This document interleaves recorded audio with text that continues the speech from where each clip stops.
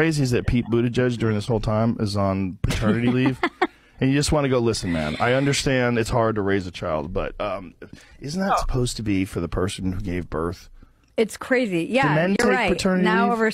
Yeah, men you're take right. paternity now leave? over